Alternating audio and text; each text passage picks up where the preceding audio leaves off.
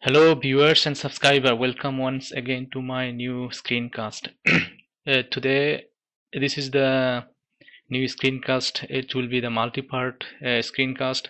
It it is the continuation of the previous screencast uh, from from 31 to 36 and this is the screencast uh, I try to to to to consume the my deployed RESTful APIs or web services with uh, with respective um, uh, GUI framework. I mean that I try to develop uh, or, or I try to call or I try to consume the our released uh, RESTful APIs to the to the to the to the to to the any any of the uh, any of the GUI or, or UI frameworks.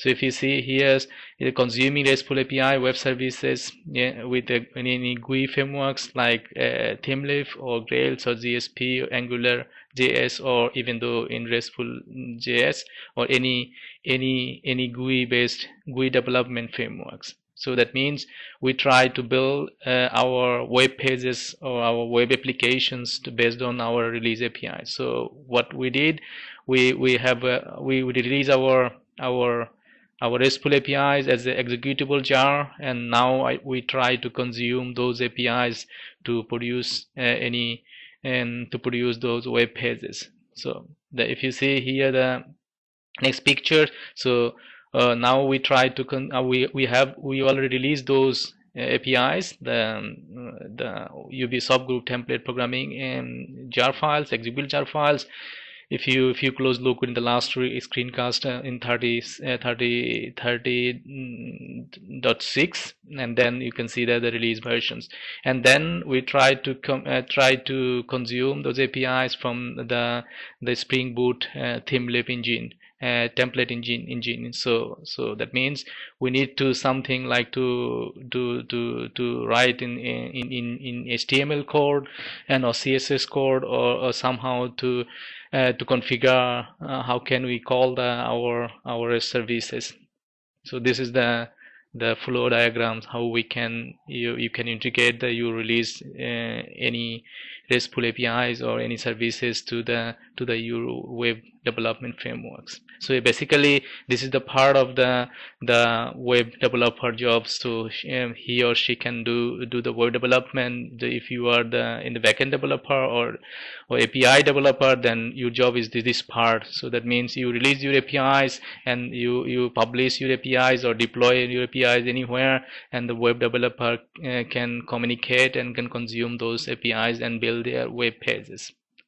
So you see that the, there's a, there's many uh, client APIs to consume RESTful APIs or web services uh, for us is we, we released our APIs and this is the the base URL for for calling the RESTful APIs and here's the, the lot of the down level apis restful uh, rest template apis uh, with this api you can do uh, all HTTP, http process of operations like get post put and delete.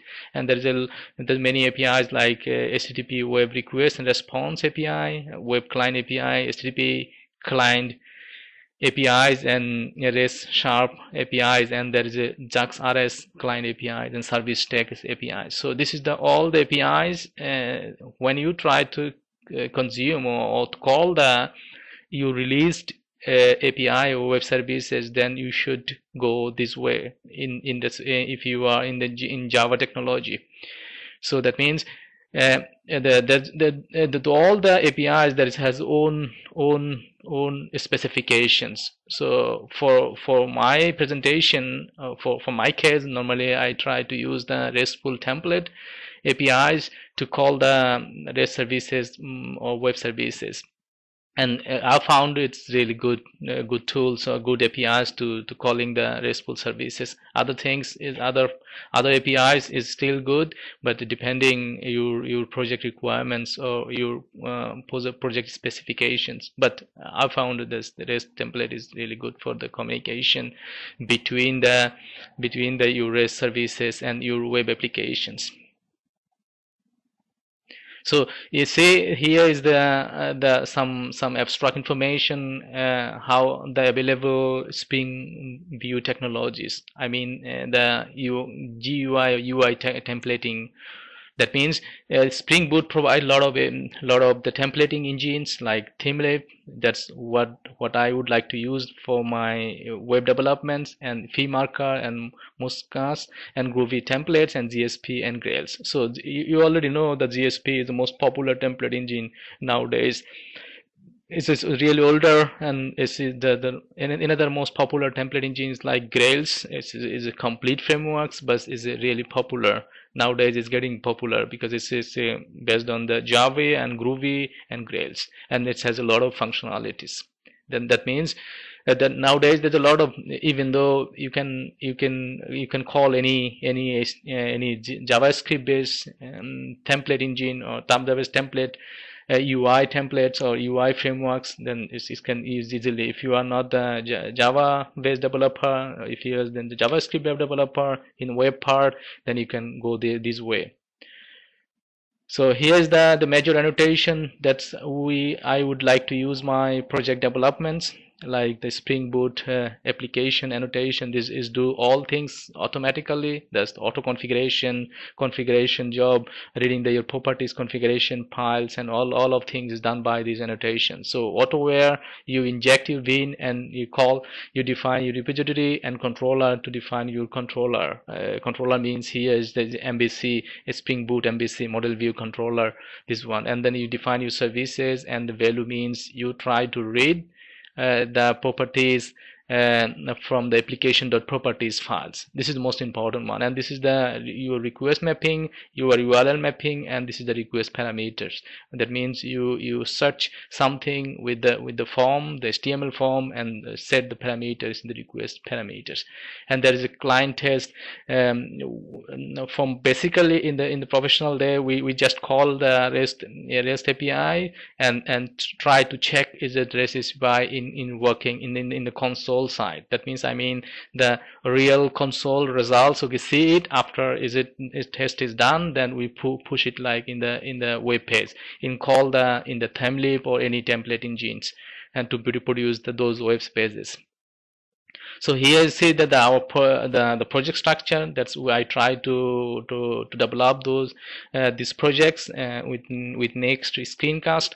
You see that that project structure like I have like the configuration con control model and service service impaired and then there is the message and static and this is the, all the template or the HTML files and this is the the main ones to call the your REST APIs uh, to set these these properties and then this property has to be handled externally or I mean I mean the the the Spring Boot profiling concept. So I, I will show you detail in the when when I did the development and did the release and and and run the uh, Java web application. You can see it so here is the the one of the outputs. So we have this the localhost deployed and we have web application. There is a there is a um, eight nine links and then after you click these links and you see the the it's calling the our REST services and produce those web pages.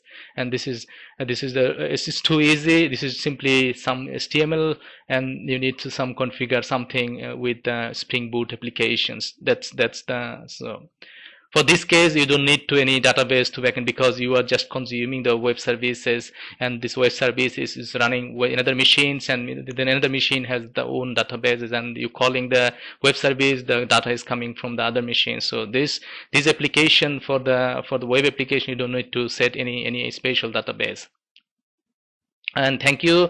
And uh, let's say uh, we we we try to produce the the development part and try to release it and deploy it our web applications. And uh, please please follow the the previous screencast and the next screencast and I will try to produce and give you give you the give you the the possibility and uh, to how we can you can communicate the REST services to the to the any web GUI or any web frameworks or any, I mean the web templating engine.